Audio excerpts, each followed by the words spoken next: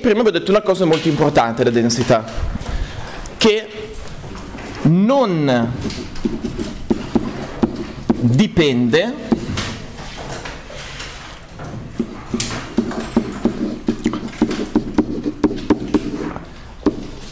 da quanto è grande o piccolo un corpo. Ho fatto l'esempio dei due gessettini e ho detto che se sono fatti dello stesso materiale, allora hanno praticamente la stessa densità. Infatti la densità non dipende da quanto è grande o piccolo un corpo, che è che, quelle sono quant- le quantità che magari dipendono da quanto è grande o piccolo un corpo? La sua massa, quindi la massa sì che dipende da quanto è grande un corpo e anche il volume. Infatti tutte le quantità che dipendono da quanto è grande un corpo, quanto è piccolo, si chiamano grandezze estrinseche.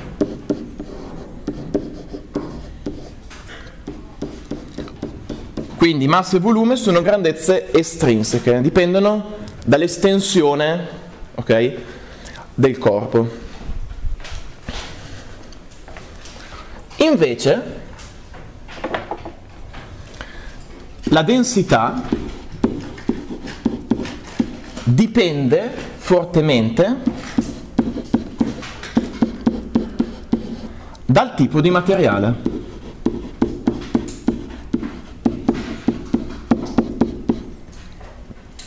Significa che il ferro ha una densità diversa da quella della paglia, no?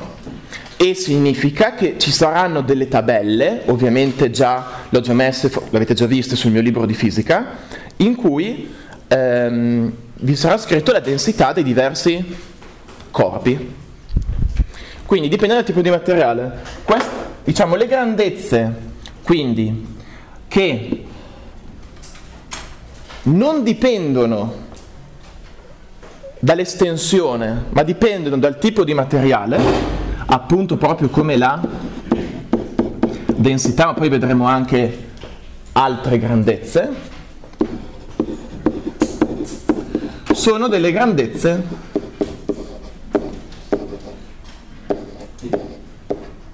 intrinseche, cioè grandezza intrinseca vuol dire che non dipende dall'estensione del corpo. Invece grandezza estrinseca che dipende dall'estensione del corpo. Allora, ehm, qual è la definizione di densità e qual è l'unità di misura della densità nel sistema internazionale? Allora, andiamo giù. La densità intanto si scrive con di piccolo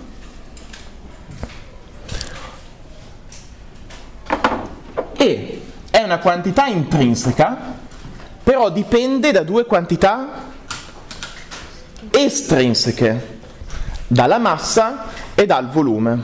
Quindi è il rapporto tra la massa ed il volume. Ora vediamo quali sono le unità di misura da usare eh, per densità, massa e volume. Allora, l'unità di misura, quindi questa è la massa, unità di misura della massa ragazzi da usare sempre sono i chili, non i grammi. Nel sistema internazionale si mettono i chili.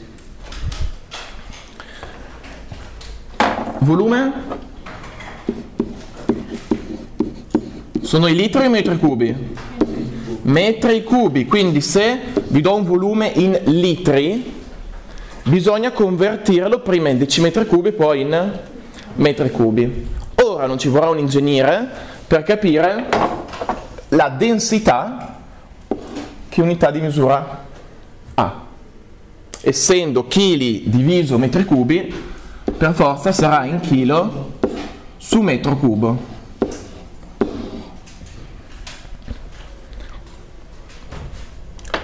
Quindi Già un piccolissimo esercizio che magari potete fare per casa è questo, però ve lo scrivo qui. È scrivi la densità in, notaz- in, eh, scusate, in, nel sistema eh, internazionale di misura dell'acqua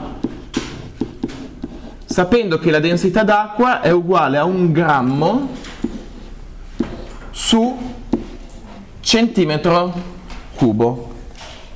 Quindi bisogna fare una equivalenza, vi dico già la soluzione e poi voi provate a farla. Allora, la soluzione è che nel sistema internazionale viene 1000 kg su metro cubo. Questo è importante, questo è un numero molto importante per l'acqua e anche in generale, perché poi noi useremo molte volte l'acqua, ok? Quindi ricordiamoci la memoria. La densità dell'acqua è 1000 kg su metro cubo. Allora, voi avete cognizione di cosa sia un metro cubo? Con le mani, un metro cubo significa che deve andare una base di un metro, una profondità di un metro e un'altezza di un metro. O un bel cubo, ok? Se questo cubo lo riempio di acqua, quanto pesa? C'è scritto qui. Mille chili. Ho una tonnellata di acqua in un metro cubo. Quindi pensate in una piscina quanto pe- acqua c'è e quanto pesa una piscina o qual è la massa di un lago. Ok, sono tonnellate e tonnellate di acqua. Bene, allora una cosa interessante, e poi il video è già finito e facciamo esercizi, è questa. Allora, vi anticipo eh, un principio molto bello che si chiama principio di Archimede, ma prima vi chiedo, com'è possibile dal punto di vista sperimentale, se voi avete un oggetto, misurare la sua densità? Vi do il gessetto di prima e vi chiedo come faccio a misurare questa densità? La densità di questo gessetto, idea?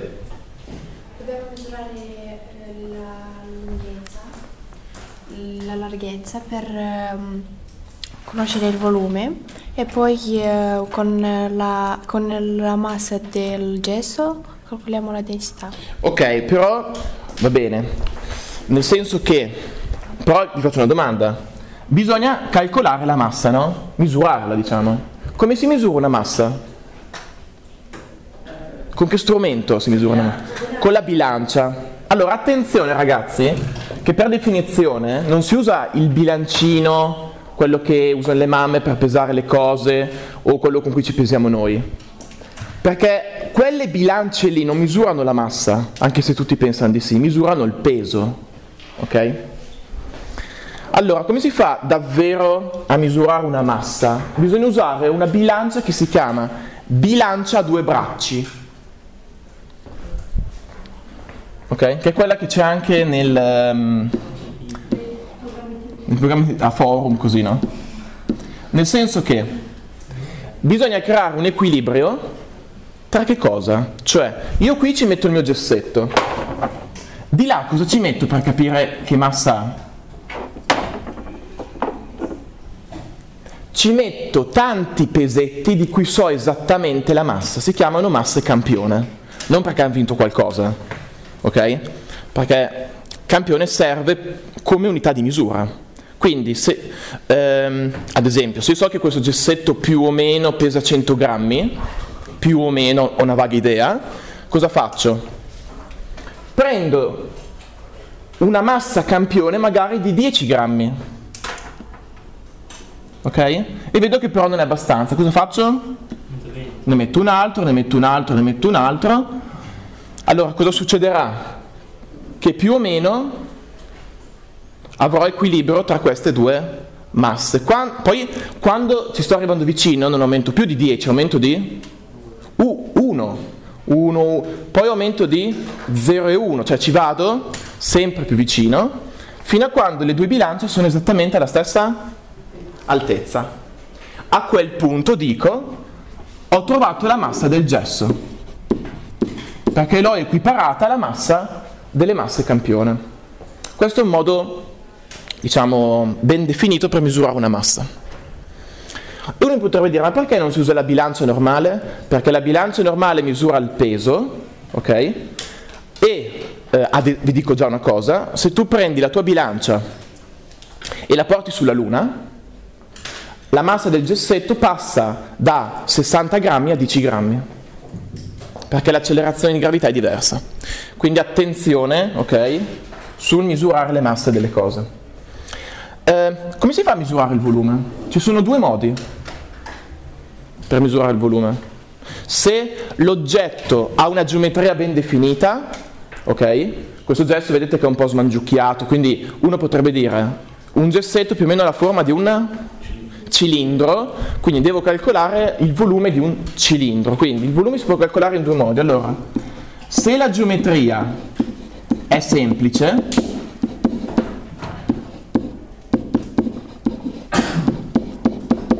lo ca- calcolo il volume in modo geometrico, con le formule. Ad esempio, vi ricordo, il volume di un cilindro è l'area di base per la sua altezza. L'area di base è l'area di un cerchio e la formula dell'area di un cerchio è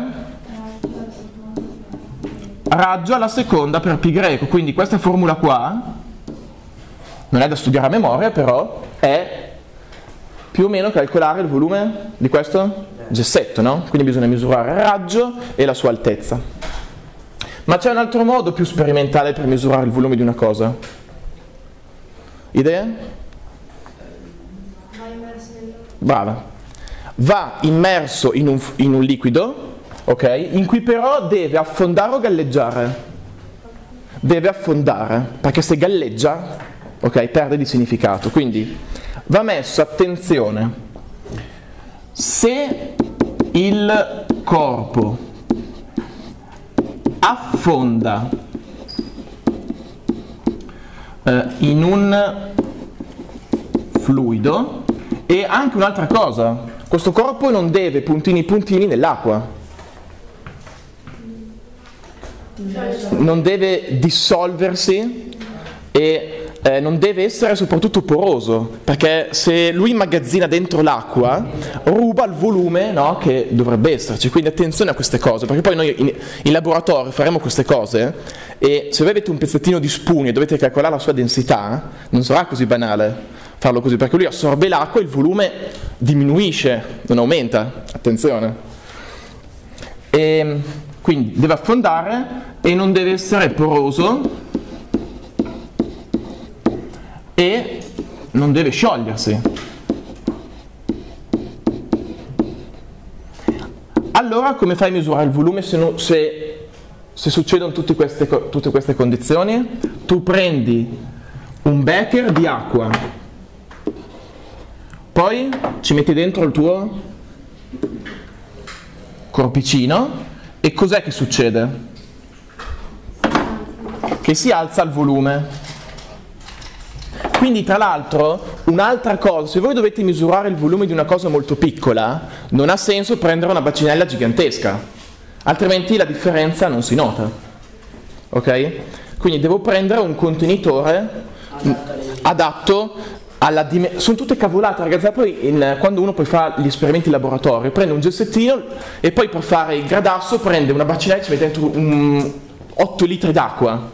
Ci metti dentro il gessetto e non succede niente. Bisogna avere cognizione nelle cose. Ora, perché? Come faccio a misurare a questo punto il volume? Se ho questa informazione? Sì. Allora, devo misurare il volume di ciò che sto disegnando in verde, perché questo volume è uguale al volume di chi? Eh sì, anche se non sembra molto dal disegno, però il gesso ruba, spazza l'acqua e l'acqua dice porca miseria, il gesso mi ha rubato, rubato lo spazio, io purtroppo devo un pochino salire.